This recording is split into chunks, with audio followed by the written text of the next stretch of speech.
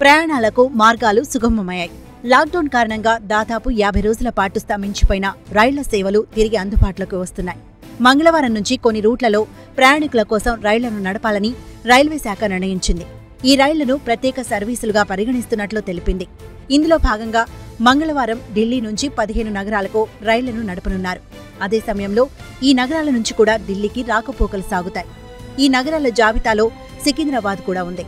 ఈ రూట్లలో ప్రయాణం చేయాలనుకునేవారు ఆన్లైన్లో టికెట్లను బుక్ చేసుకోవచ్చని రైల్వే శాఖ స్పష్టం చేసింది.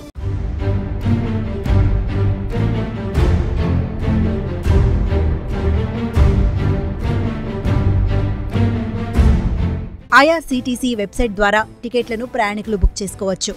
రైల్వే స్టేషన్లలోని కౌంటర్లలో టికెట్లు విక్రయించారు. ఆన్లైన్లో బుక్ చేసుకున్న టికెట్లు కన్ఫర్మ్ అయితేనే స్టేషన్లోకి అనుమతిస్తారు. ప్రయాణికులు గంట ముందే స్టేషన్కు రావాలి. ఖచ్చితంగా ఫేస్ కవర్ ధరించాలి.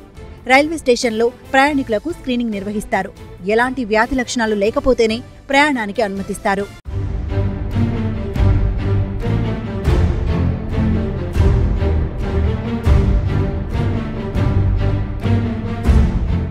రైల్వే బోగీల అందుబాటును బట్టి కొద్ది రోజుల తర్వాత కొత్త రూట్లలో మరికొన్ని ప్రత్యేక రైళ్ళను నడపాలని రైల్వే శాఖ యోచిస్తోంది.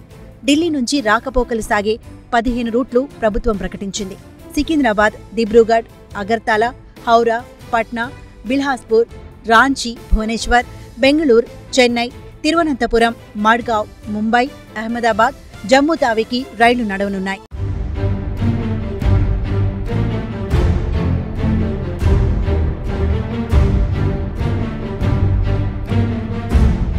ప్రయాణికులకు స్క్రీనింగ్ నిర్వహించిన తర్వాతే ప్రయాణానికి అనుమతిస్తారు. కరోనా లక్షణాలు ఉన్నవారిని ప్రయాణానికి అనుమతించరు.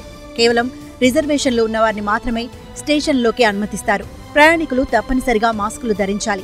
శానిటైజర్లు వెంట తెచ్చుకోవాలి. లేని పక్షంలో వారిని రైలు ప్రయాణానికి అంగీకరించారు.